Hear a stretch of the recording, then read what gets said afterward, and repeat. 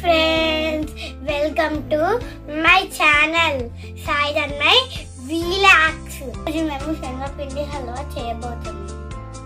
దానికి కావాల్సిన పదార్థాలు. ఒక కప్పు శనగపిండి ఒక కప్పు చక్కడి ఒక కప్పు పాలు ఒక కప్పు నెయ్యి. కొంచెం తుడుముకున్న బాదం. కొంచెం తుడుమున ఎండకొరబడి ఇలాచి పొడి. ముందుగా పొయ్యి వెలించుకొని బౌల్ పెట్టుకోవాలి. బౌల్లో నెయ్యి వేసుకోవాలి.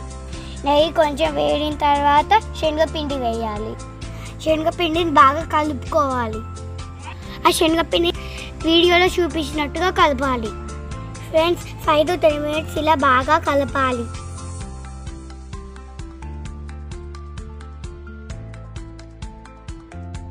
తర్వాత పాలు పోసి కలుపుకోవాలి.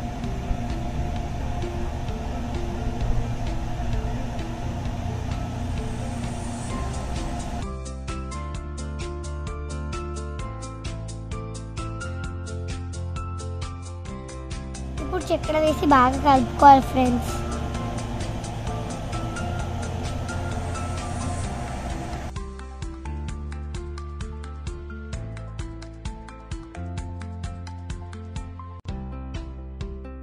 ఇప్పుడు ఇలాచి పొడి వేసుకొని కలుపుకోవాలి.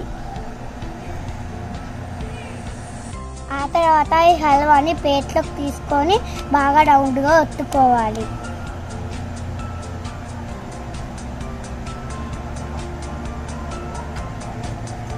రౌండ్గా ఉత్తుకున్న తర్వాత కొబ్బరి తుడుము మీద చల్లుకోవాలి ఫ్రెండ్స్.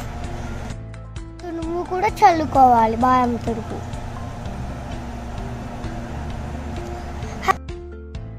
ఫైనల్గా హల్వా రెడీ అయిపోయింది ఫ్రెండ్స్.